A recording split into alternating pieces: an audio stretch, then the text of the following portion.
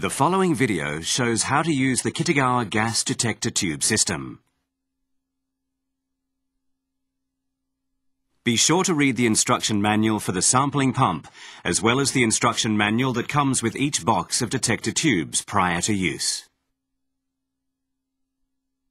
There are two parts to the Kitagawa gas detector tube system, the detector tubes and the sampling pump. You can find detailed information for the Kitagawa sampling pump and the many kinds of gas detector tubes on our website. We're going to measure carbon dioxide in the air using detector tube number 126SF. Start with a sealed unbroken detector tube. Open the cap to the detector tube tip cutter. Hold the lower portion of the detector tube and insert the tip of the detector tube into the tip cutter.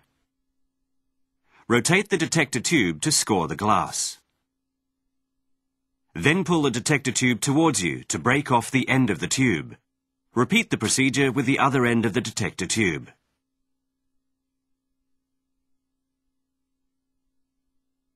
After cutting both ends of the detector tube, Close the cap to the tip cutter.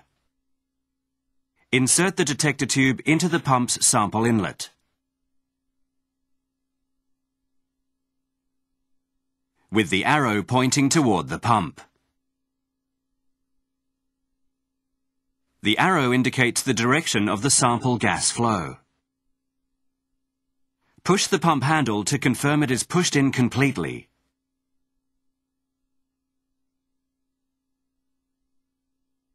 Align the red line on the pump handle with the red line on the pump body. We are now ready to begin sampling. Pull the pump handle straight out. It will automatically lock when it is fully extended. A sample is now being drawn through the detector tube. The sampling time varies for each detector tube model. You can find the sampling time for each tube on the tube's instruction manual. A sample finish indicator is located in the head of the pump. It pops out when the sampling is completed. Here you can see the position of the sample finish indicator during sampling and when the sampling is completed.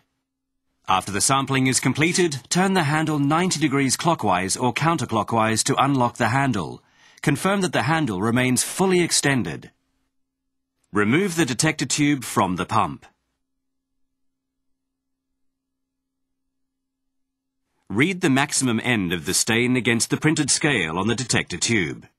For tube 126SF, the colour changes from pink to yellow.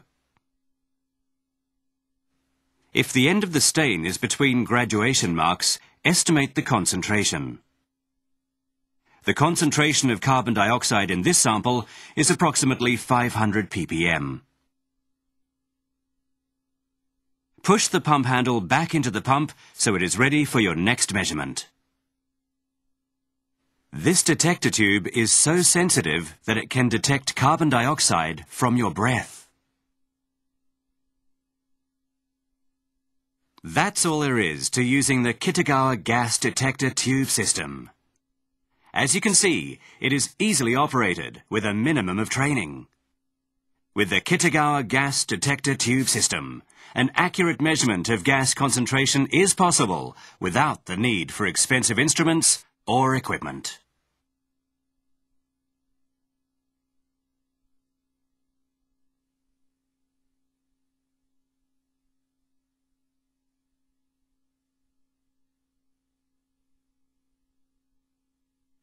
Remember, be sure to read the instruction manual for the sampling pump and each detector tube prior to use, in order to assure proper operation.